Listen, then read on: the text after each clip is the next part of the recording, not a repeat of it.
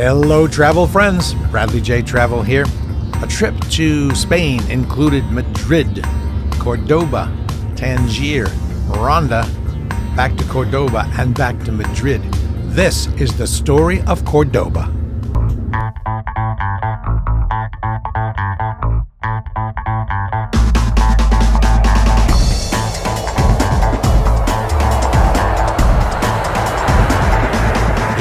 Go. Now, this is the beautiful train station in Madrid. Unfortunately, we did not get to depart from this train station because of a mistake I made.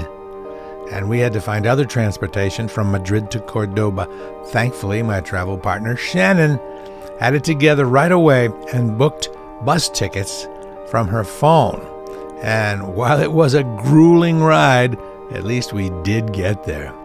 Imagine you're up all day the day before preparing for the trip, then you go to the airport, you fly, you arrive early in the morning, then you try to find some transportation, manage to get a bus, and then you're on the bus five hours. Man, you are so glad to arrive at the Cordoba bus slash train station area and see something like this an oasis of food, breezes, maybe some wine, maybe some beer. Again, thanks to Shannon for being such a trooper and actually pulling it together and getting the transportation from Madrid to Cordoba. And here we are in Cordoba, very, very happy to find this hotel. For a brief insane moment, we thought about walking from the bus station to the hotel, but happily we did not do that. And it was a beautiful cab ride here. Uh, this place uh, was spectacular. Was such a huge bang for the buck. I was surprised how great it was. And it was right beside, right within feet of the Mezquita, which is this beautiful, beautiful cathedral. Perhaps the most impressive building I have ever been in in all my life. And wait till you see the view from this hotel. This is right out the window. Look at those beautiful wooden window frames. This place is stunning on the outside, and very soon we'll get to the inside.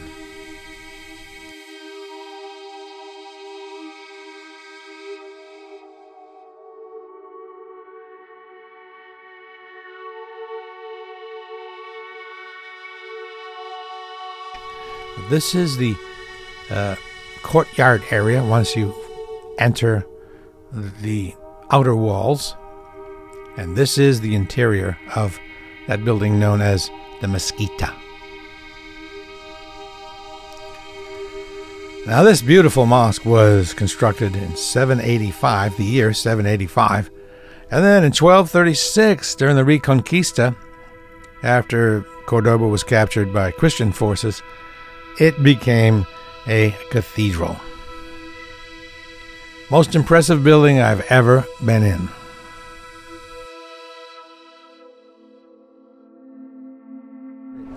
I gotta tell you, Cordoba does get hot. It is beautiful, but around noontime, it's hot. So it's time to get a beverage. And uh, this place looks good. It's not one of the famous places you see on YouTube or anything.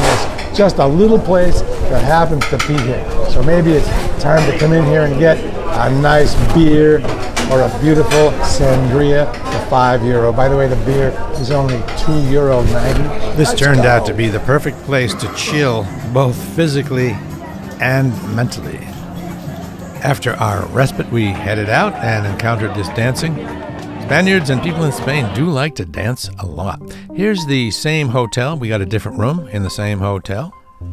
It was a great room, except the air conditioner leaked into the ceiling and we had to shut the air conditioner off. All right, folks, we're right outside of a very touristy place called Bar Santos, which is right outside the walls of the big cathedral here in Cordoba. It's a thing everybody does, is come and get a tortilla, it's two euro 80, sit on these steps here, sit on this wall, eat your tortilla outside the walls of the cathedral. By all accounts, these things are horrible, but everybody does it anyway. So I am going to do it as well. It's only two euro 80 as I say. If it were expensive, I probably wouldn't bother. Uh, Shannon already had a couple bites out of this to test it, make sure it was okay. It is a slice of a big poofy tortilla that's about that tall. They cut a slice and they cut it into pieces. And it, you can, you can see little chunks of potato in there, kind of glued together by probably other potato, I don't know what. And people say it's not that great, but we're going to go ahead and check it out. I also have something that I will share with you. It's uh,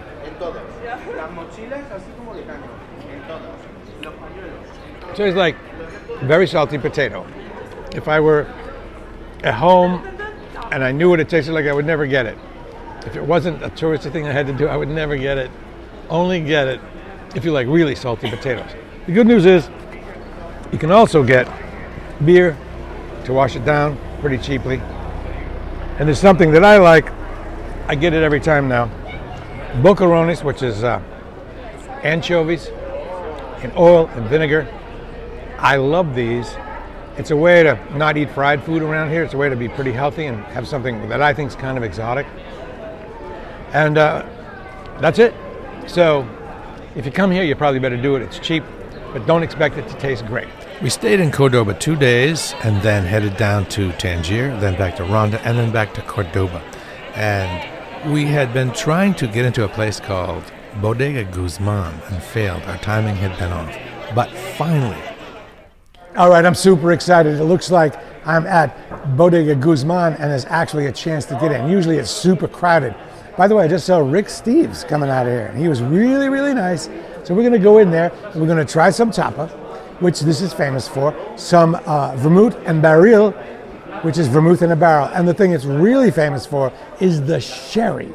So come with me and we'll see if this is really worth the hype. Come on. I've been looking at this place on YouTube travel videos for a long time. so I was so excited, it was almost too excited and hard to relax. Now here's my partner Shannon to tell us about the food and wine. Here we are in Cordoba at Bodega Guzman, which has been on my bucket list for a very long time. We are very excited to try an assortment of tapas here. First up is carne con tomate, which is beef in tomato. And then moving on, we have pickled mussels, which will be one of Bradley Jay's absolute favorites. Then we also have a local favorite, which is sheep cheese. And then finally, we have some dried chorizo, which is a sausage. A little bit spicy, not too much. Perfect blend of spices and flavors. For drinks, we have Bradley's absolute favorite, which is Vermouth de Barril, which is vermouth on tap. It's absolutely one of our favorite drinks when we come to Spain. And here we have the local sherry. We're, tonight we're having Montilla sherry, which is not too sweet. When people think of sherry, they think of very sweet, cloying, heavy sherry, which isn't always bad. It's nice with desserts or nice with like sweeter cheeses, sweeter nuts. But Montilla is very nice with food. It's clean, it's crisp, it's refreshing, it's served cold, so it's perfect with food, especially in hot Spanish nights. Highly recommend. Mm. Yum. Oh yeah, man, that place is everything it's cracked up to be. If you ever get to Cordoba, it's Bodega Guzman, and get here the minute it opens, or you won't be able to get in. One fun way to insinuate yourself into any culture is to get a straight razor shave at a barber shop. I did it in Tangier and loved it. Loved the barber, loved the people hanging out in the barber shop, so I sought out another barber in uh, Spain. He was awesome. He loved Marky Ramone. Besides being a cultural experience, a shave in a barber shop leaves you looking and feeling sharp. After the shave, we encountered a wedding and then went on to have a nice cool beverage in a nice cool shady breezy spot. Now check out this hotel. Uh, first went to a room that they gave us at this hotel in Cordoba, right outside the Mezquita, which is the cathedral. And it was kind of dank, for lack of a better word. Went down and said, Hey, this doesn't look like the one in the picture, because it had said full bed. And he said, Oh, don't worry about it. Take this room instead. And so I'm hoping this room is uh, a lot better. Let's, and I thought we'd check it out together. All right. Right away, you could tell the outside is better anyway. Oh, yeah. We have, looks like some exposed stone walls, some, some nice lighting, decent bed, a separate viewing, you know, TV area, which the other one didn't have. So this is the courtyard in one of the hotels we stayed at in Cordoba, it is quite spectacular. And rather than go and fight the crowds, we found a fancy sherry vermouth shop, which, as you might guess, has fancy sherry and vermouth, and I'm a, vernu- a vermouth freak. Well, it's time to resume the search for the ultimate tapas. It's really challenging to find the good tapas restaurants. You do what you can, you research. Some turn out to be great, some turn out to be not so great. Next, it's Taberna Salinas, established in 1924. Usually there's a line, no line here right at opening. Let's find out about Taberna Salinas right now. There are a couple of dishes that we hadn't had a chance to try yet at this point. One is a very hearty stew, and the other is the dinner sized portion of rabo de toro. All right, let's find out if the food is really all that good at Taberna de Salinas. First, we're going to go with the chickpea stew.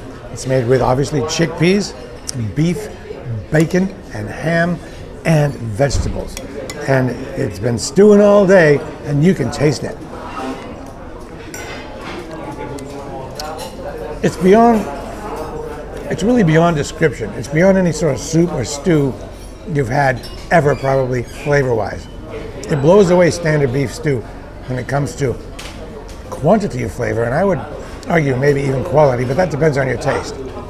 Now let's go to the rabo de toro, or oxtail, braised oxtail.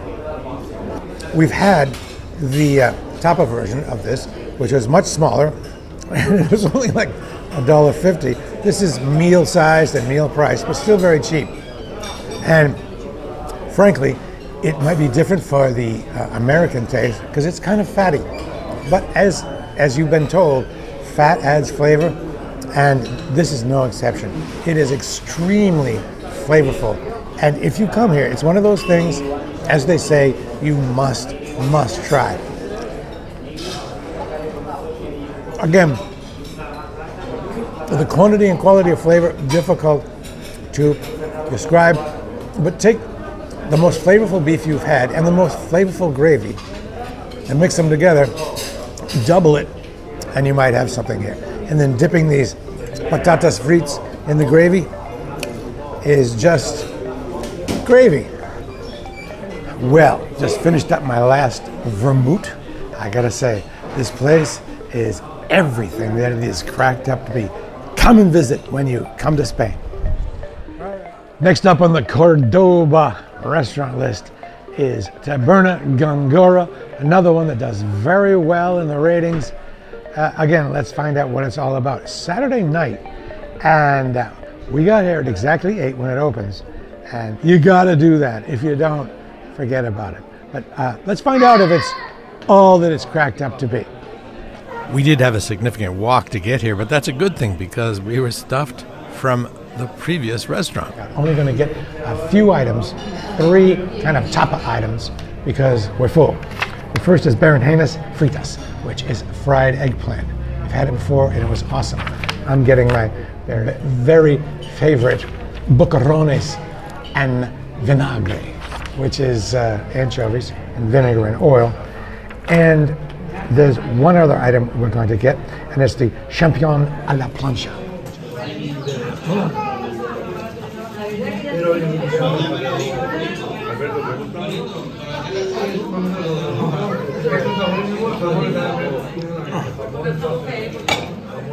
Woo!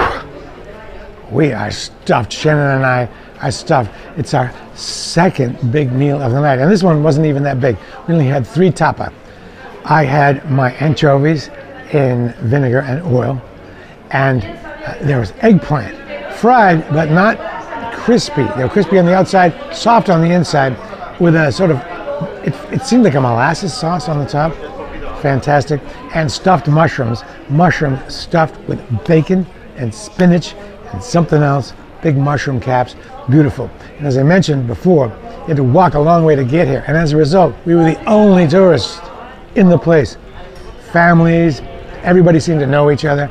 If you can manage the walk out here to Taberna Gongora, I think you'll be pretty pleased. This is Cordoba and Taberna Gongora. Try it out. Cordoba is a beautiful evening strolling city. And a walk home after a beautiful meal or three is really pleasant.